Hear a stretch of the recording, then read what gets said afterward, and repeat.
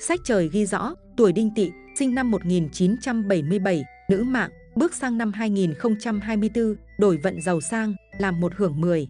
Chúng số độc đắc, tiên tỷ cầm tay, an nhàn hưởng phúc lớn cho đến cuối cuộc đời, nếu như nắm bắt được ba cơ hội này.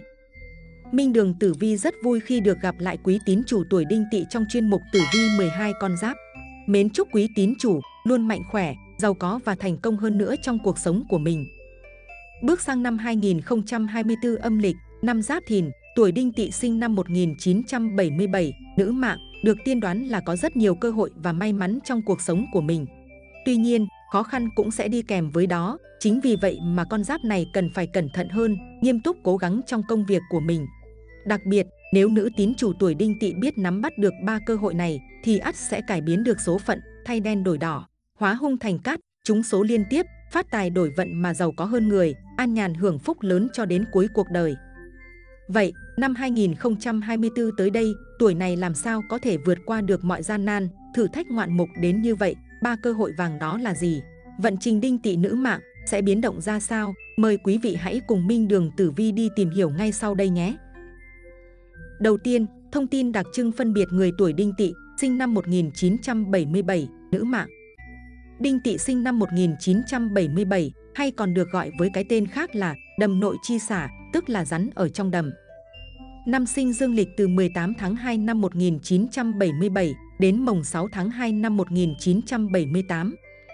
Năm sinh âm lịch đinh tỵ, thiên can đinh, tương hợp nhâm, tương hình tân, quý, địa chi tỵ, tam hợp, tỵ dậu sửu, tứ hành xung, dần thân tỵ hợi, mạng sa trung thổ, đất pha cát, khắc dương liễu mộc, con nhà huỳnh đế, phú quý, xương con rắn, tướng tinh con cú, bà chúa ngọc độ mạng. Nữ mạng tuổi đinh tỵ có nạp âm hành thổ, do can đinh hỏa ghép với chi tỵ hỏa, can và chi cùng hành hỏa, lại tương hợp ngũ hành với nạp âm, thuộc lứa tuổi có năng lực thực tài, căn bản vững vàng, nhiều may mắn, ít gặp trở ngại trên đường đời. Sinh vào mùa hạ là thuận mùa sinh, nếu ngày sinh có can giáp, ất, bính, đinh, sinh giờ sửu, mùi, còn được hưởng phúc đức của dòng họ. Trời sinh tuổi đinh tỵ, có địa chi gọi là đầm nội chi xà, tức là rắn ở trong đầm, là người có tính cách trầm ổn, tài trí hơn người, rất biết cách xử sự, tiến lui ở đời, hiểu thấu, cũng là người giỏi xã giao, họ có phẩm chất cao sang, thường được mọi người quý mến và đánh giá cao. Theo tử vi 12 con giáp của người Việt, tuổi tỵ cầm tinh con rắn được xếp ở vị trí thứ 6, đại diện cho sự may mắn, biểu tượng cho sự nhạy bén, linh hoạt và có phần bí ẩn. Bởi vậy tuổi đinh tỵ là những người khôn ngoan, khéo léo và mạo hiểm, Họ giàu tình cảm, có đời sống nội tâm khá phong phú, lãng mạn và luôn khiến người khác bị thu hút bởi vẻ đẹp, sự uyển chuyển của mình. Người tuổi đinh tỵ nữ mạng, sống rất thẳng thắn, thật thà, không lợi dụng người khác, họ làm việc rất chăm chỉ, cần cù và giỏi trong công việc tích trữ, dành dụng tiền bạc. Bởi vậy cuộc sống của họ luôn đầy đủ vật chất, không bao giờ thiếu thốn. Những người này có đầu óc khá nhạy bén, vì thế họ giỏi trong việc kinh doanh, với con mắt nhìn xa trông rộng tuổi đinh tỵ dễ dàng có những phán đoán chính xác về nhu cầu thị trường, từ đó xác định mặt hàng mình cần phải phát triển. Những người này, nếu như tuổi thơ gặp nhiều khó khăn, bất hạnh, thì khi trưởng thành, họ nuôi dưỡng ý chí và có nhiều tham vọng lớn. Tuổi đinh tỵ sẽ quyết tâm xây dựng sự nghiệp để có cuộc sống ổn định, đầy đủ tiện nghi. Có điều, nhược điểm của con giáp này là tính chiếm hữu quá lớn, có phần giả hoạt, dễ khiến người khác mất tình cảm. Bù lại, họ có khả năng đối nhân xử thế khéo léo, thành thục, có ngoại hình sáng sủa và tâm hồn lãng mạn, xinh đẹp ngời ngời. Trong cuộc sống, tuổi đinh tỵ khá đa nghi, hầu như không tin tưởng người khác, dù là những người thân cận. Tuy nhiên, tuổi đinh tỵ khéo léo trong việc che đậy cảm xúc của mình, họ không lộ liễu khiến người khác phật lòng, ngay cả khi tức giận, người này cũng kiềm chế cảm xúc giấu kín trong lòng. Phụ nữ tuổi đinh tỵ không thích xen vào chuyện riêng của người khác, cũng không thích ai làm phiền đến cuộc sống của mình. Họ rất ít khi có thái độ nổi nóng, nhưng nếu có ai cố tình cản trở đường đi của mình, họ sẽ sẵn sàng dùng cách riêng của mình để hạ gục đối thủ.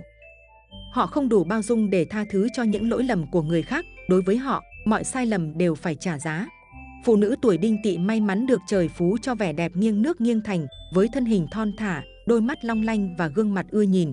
Cô nàng này thu hút được mọi ánh nhìn xung quanh, đó là lý do tại sao họ được rất nhiều anh chàng theo đuổi, tán tỉnh.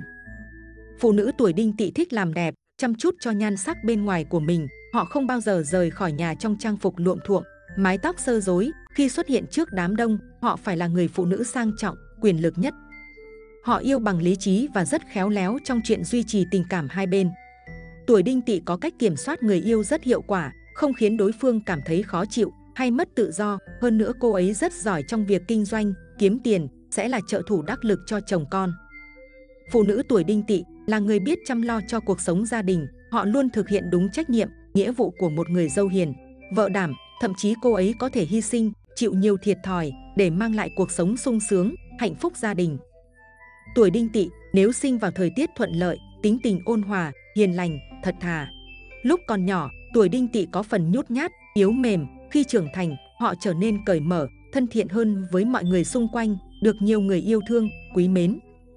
Tuy vẻ bề ngoài lạnh lùng, ít nói, nhưng thực ra họ có đời sống nội tâm khá phong phú, chất chứa nhiều tình cảm. Tuổi đinh tỵ dễ xúc động và mùi lòng khi chứng kiến cuộc sống bất hạnh của những người nghèo khổ, bởi vậy họ luôn cố gắng làm việc, giúp đỡ người khác khi có thể. Họ bận rộn với những kế hoạch, mục tiêu trong tương lai của mình, chừng nào chưa đạt thành công, họ sẽ không cho phép bản thân mình được chán nản, buông xuôi. Trong những lúc khó khăn, động lực duy nhất giúp họ vượt qua là tình yêu thương và sự quan tâm của những người thân trong gia đình. Tuổi đinh tỵ, ngày đêm suy nghĩ vì sự nghiệp lớn lao của mình, đôi khi họ làm việc quá căng thẳng, dẫn đến stress nặng nề. Những người này cần phải tham gia các hoạt động thể thao, rèn luyện cơ thể và giải tỏa những muộn phiền trong lòng mình. Tóm lại, cuộc đời đinh tỵ nữ mệnh tuy gặp không ít khó khăn, vất vả ở tiền vận, nhưng khi bắt đầu vào trung vận thì cuộc sống sẽ tốt đẹp hơn. Mỗi lúc khó khăn, người này đều có quý nhân ra tay giúp đỡ, tháo gỡ mọi rắc rối, vận xấu của họ, đặc biệt may mắn ở thời trung vận, tài khí của bạn lúc này hanh thông hơn. Mưa thuận gió hòa, làm gì cũng dễ thành công, mưu cầu như ý, sở cầu như nguyện, càng về già, sẽ càng có nhiều may mắn, tiền bạc dồi dào chất đầy két, hậu vận được an nhàn thành thơi. Xét tổng quan tử vi nữ mạng tuổi đinh tỵ trong năm 2024. Thứ nhất, xem tử vi 2024 của nữ mạng tuổi đinh tỵ theo can chi ngũ hành. Xét về thiên can. Đinh gặp giáp bình hòa, xuất hiện một số cơ hội trong sự nghiệp, có thể là do anh em bạn bè mang lại, nhưng sự thành hay bại vẫn phụ thuộc chính vào sự nỗ lực của bản thân. Xét về địa chi. Tỵ gặp thìn bình hòa, hành sự dễ thành hơn do chịu ít tác động từ ngoại cảnh. Xét về ngũ hành. Bản mệnh được lưu niên tương sinh, vận khí cát lành, chuyện tình cảm hay tiền bạc đều đạt được như ý nguyện. Tiểu kết. Bước sang năm Giáp Thìn 2024, nữ mạng đinh tỵ, sinh năm 1977, có thể yên tâm công tác trong lĩnh vực hiện tại. Công việc ít có sự cản trở hay gặp khó khăn nào, một số cơ hội phát triển cũng xuất hiện nhờ người thân mang tới. Thành bại vẫn do bản mệnh là chính, phương diện tài chính, tình cảm cũng ít điều phải chăn trở. Thứ hai, xem tử vi đinh tỵ sinh năm 1977 nữ mạng theo sao hạn. Năm 2024, nữ mạng tuổi đinh tỵ gặp sao mộc đức chiếu mệnh. Trong cửu diệu niên hạn, sao mộc đức chính là một phúc tinh, sao tốt, mang lại điều tốt may mắn trong công việc, sự nghiệp thăng tiến, thuận lợi, gia đạo bình an, hôn nhân hòa hợp. Về đường công danh, người được sao mộc đức chiếu tới sẽ được quý nhân phù trợ, gặp được nhiều cơ hội thăng tiến hơn trong sự nghiệp, thêm được nhiều bạn bè mới, thầy giỏi, bạn tốt, mở ra nhiều cơ hội trong học tập, sự nghiệp. Phụ nữ đang mang thai, được sao mộc đức chiếu thì đứa trẻ sinh ra có khí chất hơn người, bản lĩnh, điềm tĩnh, quyết đoán. Tuy nhiên, bên cạnh đó thì vẫn mang đến một số hạn xấu, đặc biệt là về sức khỏe. Nữ giới khi bị mộc đức chiếu mạng, cần đề phòng các bệnh về máu huyết khó đông, dẫn tới thiếu máu, mất ngủ, mệt mỏi, đồng thời cũng cần chú ý đến các bệnh về thị giác. Có một bài thơ diễn nghĩa về sao mộc đức như sau.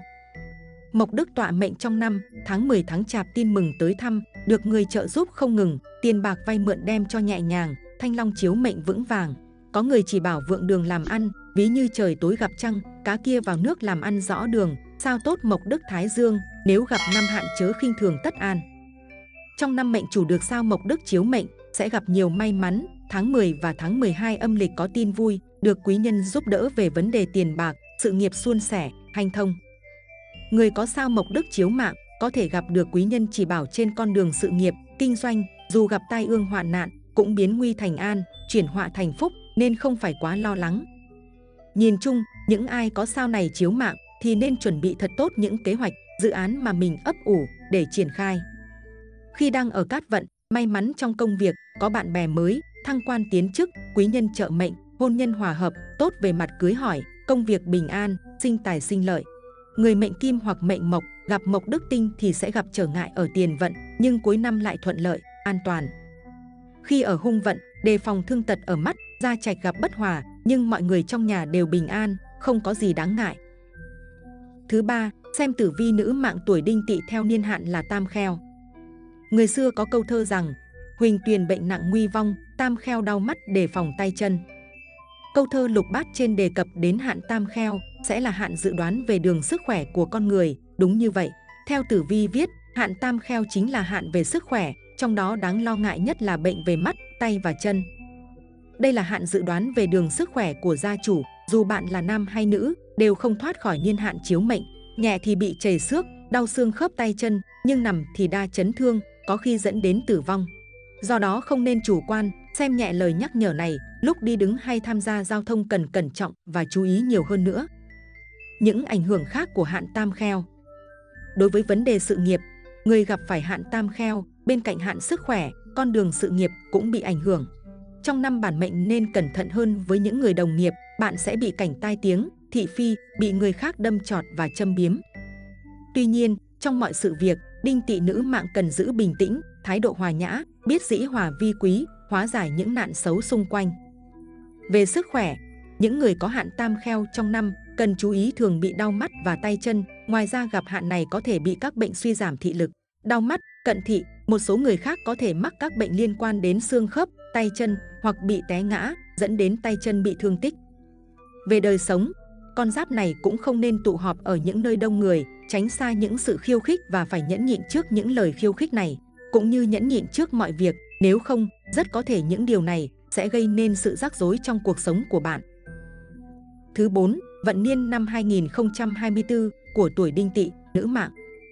Những người tuổi Đinh Tỵ sinh năm 1977 vào năm 2024 gặp vận niên hổ nhập nội. Hổ nhập nội nghĩa là cọp về đồng bằng, sa mạc, không có mồi để ăn. Trong năm nay, bản mệnh kinh doanh thương mại, kinh doanh lúc đầu khó khăn, vất vả, nhưng nếu kiên trì và theo đuổi tới cùng thì sẽ thu về nhiều thành tựu đáng kinh ngạc. Tuy nhiên, trong năm nay bản mệnh không nên thao tác mạo hiểm, nên khiêm nhường vị tha và làm phúc giúp người khác, như vậy sẽ gia tăng thêm cát khí ở các phương diện khác trong cuộc sống của mình. Thứ năm, xem vận hạn 2024, tuổi đinh tỵ, nữ mạng, theo tuổi âm. Tam tai năm 2024 Tuổi đinh tỵ không phạm tam tai, mưu sự thuận lợi, nỗ lực ắt được đền đáp xứng đáng. Kim lâu năm 2024 Tuổi đinh tỵ phạm kim lâu thê, không thích hợp tiến hành hôn sự hay xây dựng nhà cửa, kẻo gây họa cho người chồng của mình. Hoang ốc năm 2024 Tuổi đinh tỵ phạm hoang ốc, không thích hợp làm nhà cửa trong năm Giáp Thìn 2024. Tiểu kết Đương số có một năm 2024, chủ về bình hòa, mưu sự dễ thành, do có các tinh đồng hành, nỗ lực bỏ ra đều được đền đáp xứng đáng. Đời sống tinh thần hay vật chất đều được như ý, bớt đi nhiều phần lo toan. Tuy nhiên, năm nay không thích hợp để tiến hành các công việc trọng đại như mua nhà hay xây dựng nhà cửa bởi bản mệnh dễ gặp phải điều xui xẻo.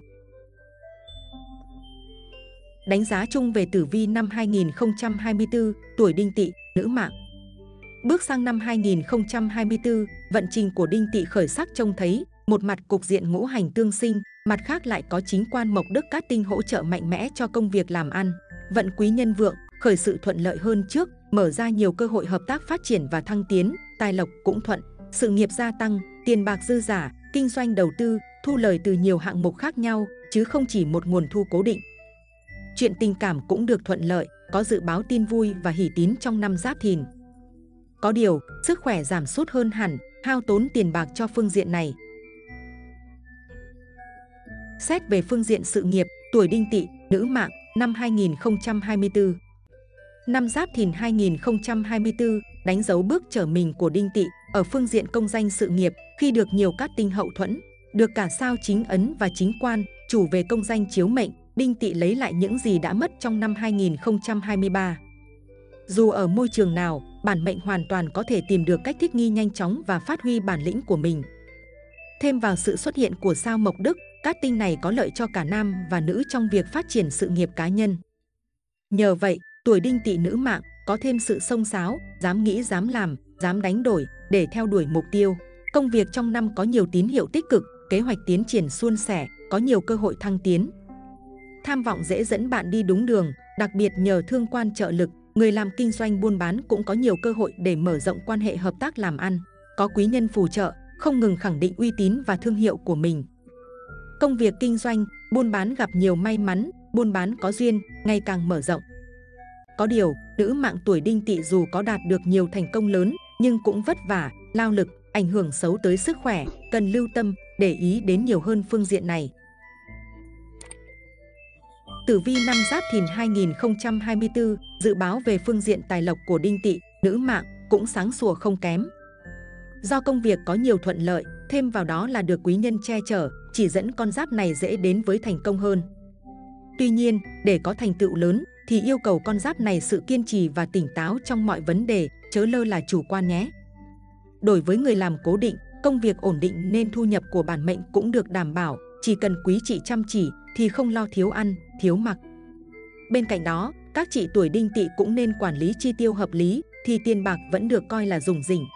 Việc làm ăn kinh doanh trong năm, túc tắc vẫn có lợi nhuận thu về, bản mệnh cũng có thể nảy sang nhiều ý tưởng kiếm tiền độc đáo để nhanh chóng cải thiện chất lượng cuộc sống.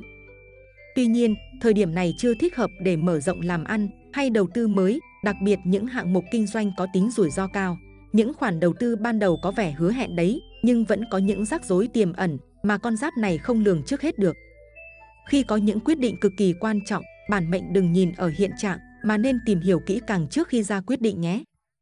Cẩn thận không bao giờ là thừa, nó sẽ giúp bạn hạn chế những khoản mất mát không đáng có. Nhất là khi có nhiều kinh nghiệm can ngăn thì đừng cố làm ngược lại để thể hiện bản thân trong lúc này. Vấn đề tiền bạc khá nhạy cảm, vì thế trong năm bạn cũng nên hạn chế tối đa việc cho người khác vay mượn nhé. Về phương diện tình cảm, gia đạo, năm 2024 Năm 2024 bản mệnh có thể yên tâm với các mối quan hệ tình cảm, gia đạo, mối quan hệ làm ăn của mình. Gia đình êm ấm, có thể đón tin vui về chuyện con cái, con cái học hành, giỏi giang, chăm ngoan, người đang sống độc thân có thể đón thêm cơ hội tình cảm. Tử vi đinh tỵ 2024, vận trình tình cảm có ấn tinh vượng, khiến bản mệnh trở nên dịu dàng, có nội tâm nhân hậu, nên dễ dàng được mọi người yêu quý. Với cách đối nhân xử thế hiền hậu, coi trọng nhân cách và nội tâm, bạn dễ dàng có được sự ủng hộ từ người thân hay bạn bè.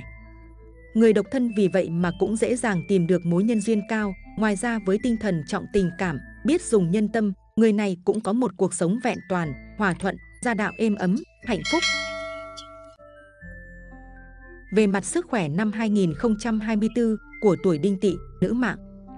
Trong năm này, đinh tỵ có thể gặp tình trạng lao lực do làm việc quá sức, mải mê quá với công việc mà bỏ bê việc chăm sóc cơ thể.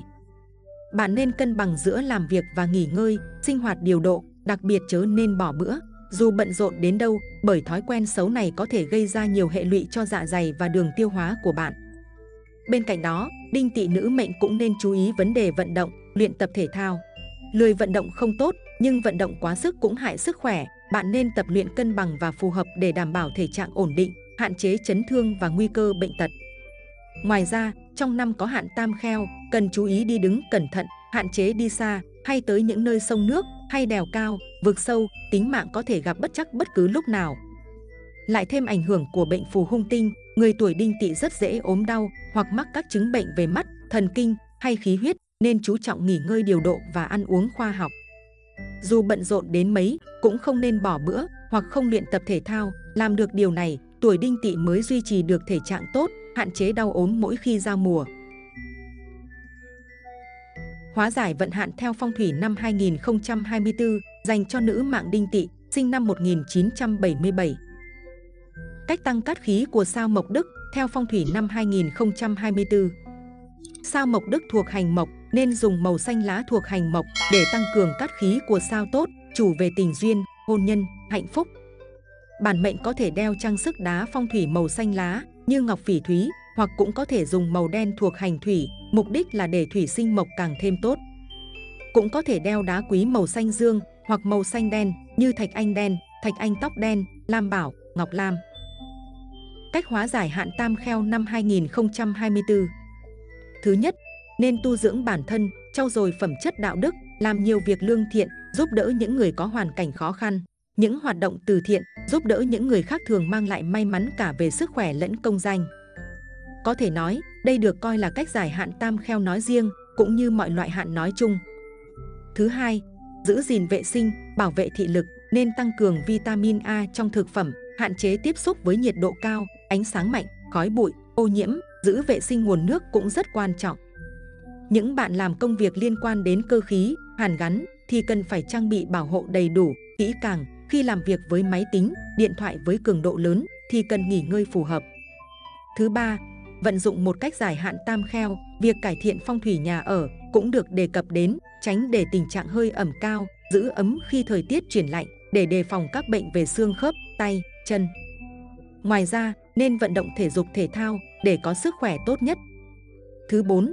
Đối với các vấn đề thị phi, miệng tiếng, châm biếm, đả kích, phê bình thì các bạn nên có kiến giải thông đạt, không nên chấp vặt, thù dai, để bụng, để tinh thần chất chứa những điều không vui, hãy coi như họ nói đùa mà thôi. Ngoài ra, để tìm sự bình an cho cuộc sống, gia chủ nên thường xuyên đi chùa, thắp hương cửa Phật. Điều này giúp tâm hồn trở nên tâm tịnh và thư giãn phần nào mệt mỏi, áp lực từ cuộc sống.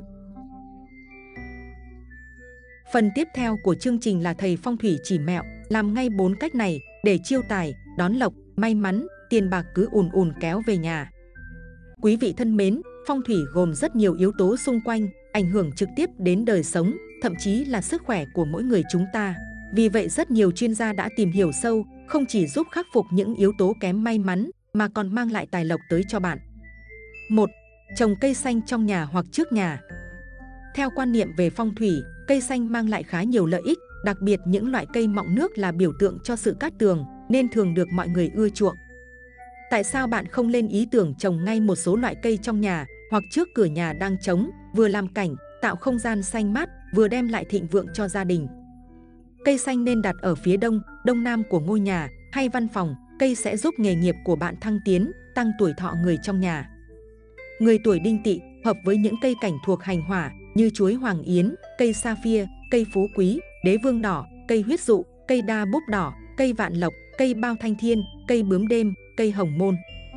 Hợp với những cây thuộc hành thổ như cây lưỡi hổ viền vàng, thiết mộc lan, thiết mộc lan ghép sọc vàng, trầu bà, đế vương vàng, vạn niên thanh bò đốm vàng, đại niên thanh, cao vàng, lan hồ điệp hoa vàng. Trồng những cây này trong nhà sẽ giúp gia đình gia chủ sớm được đầy đủ, sung túc, an khang thịnh vượng và giàu sang, phú quý. 2. Trưng bày vật phẩm chiêu lộc phong thủy Việc chọn lựa và trưng bày các vật phẩm có tính chất chiêu tài lộc hoặc có tính phong thủy hợp với gia chủ không chỉ vào dịp cuối năm mà mọi thời điểm trong năm đều khá cần thiết và có ý nghĩa.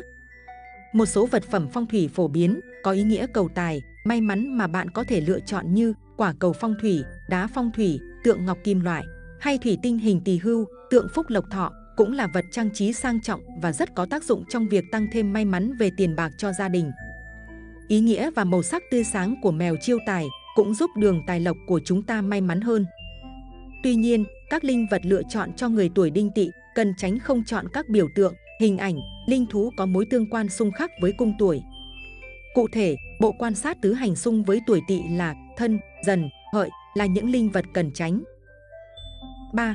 Không nên để hũ gạo hoặc tủ lạnh trống. Hũ gạo và tủ lạnh là hai vật dụng tượng trưng cho nguồn thực phẩm. Việc gia chủ có nhiều thực phẩm hay không lại thể hiện cho tài lộc và vượng khí của người đó. Vì vậy từ thời ông bà ta đã kiêng không để cho những vật dụng này trống không, đặc biệt là hũ gạo. Đây chỉ là yếu tố rất nhỏ, nhiều người không để tâm nhưng lại ảnh hưởng đến vận khí của quý bạn đó nhé. 4. Cất giữ tiền bạc ở đâu trong nhà? Hầu hết chúng ta đều có một khoản tiền được tích góp lại sau những tháng ngày làm việc vất vả. Việc cất giữ tiền là điều cần thiết và cũng là nét đặc trưng của người Việt Nam. Nhiều người lựa chọn gửi vào tài khoản ngân hàng để thuận tiện, nhưng cũng có nhiều người vì vài lý do cần phải giữ tiền mặt bên cạnh mình.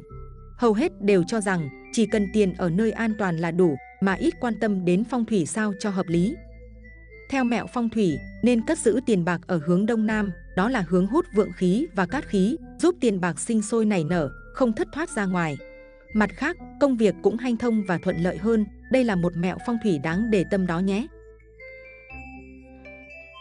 Cuối cùng là thông điệp may mắn dành riêng cho tuổi đinh tỵ, nữ mạng trong năm 2024 này. Ai trên đời cũng có một cỗ xe riêng, mang tên cỗ xe cuộc đời. Có người may mắn sinh ra có một chiếc xe tốt, hay nói cách khác là có tiền của, sung túc. Ngược lại, có người sinh ra được trao cho chiếc xe cũ kỹ, tồi tàn, nhưng cuộc sống chẳng vì thế mà an bài tới cuối cuộc đời. Nếu như người có cỗ xe tốt, nhưng chẳng biết giữ gìn, chăm sóc, thả cho cỗ xe ấy tự trôi, rồi sẽ có ngày rơi xuống vực thẳm. Cũng có người cho dù là chiếc xe cũ kỹ, ọp ẹp, nhưng cứ nhằm mục tiêu mà hướng đến, cẩn thận đi trên con đường sỏi đá, vẫn đến nơi một cách an toàn, viên mãn. Vì vậy, trong cuộc sống, cho dù ngày hôm nay bạn có đang nghèo khó, chỉ cần bạn nỗ lực, chăm chỉ thì nhất định tương lai sẽ tươi sáng, đúng không quý vị? Vâng, quý vị thân mến, trên đây là những chia sẻ rất tâm huyết đến từ ban biên tập chương trình về ba cơ hội vàng giúp tuổi đinh tỵ sinh năm 1977, nữ mạng, đổi đời giàu có hơn người trong năm Giáp Thìn 2024. Minh Đường Tử Vi rất mong rằng quý vị sẽ gặp được nhiều may mắn, gặt hái nhiều thành công và làm giàu cho bản thân mình, cho xã hội.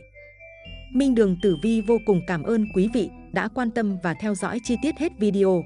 Mọi ý kiến đóng góp và thông tin cần được tư vấn hỗ trợ, vui lòng comment ở bên dưới và bình luận. Ban biên tập chương trình sẽ tư vấn và giải đáp miễn phí trong thời gian sớm nhất. Mến chúc quý vị luôn mạnh khỏe, hạnh phúc, giàu có và thành công hơn nữa trong cuộc sống của mình. Chương trình đến đây là hết. Xin chào và hẹn gặp lại trong những chương trình lần sau.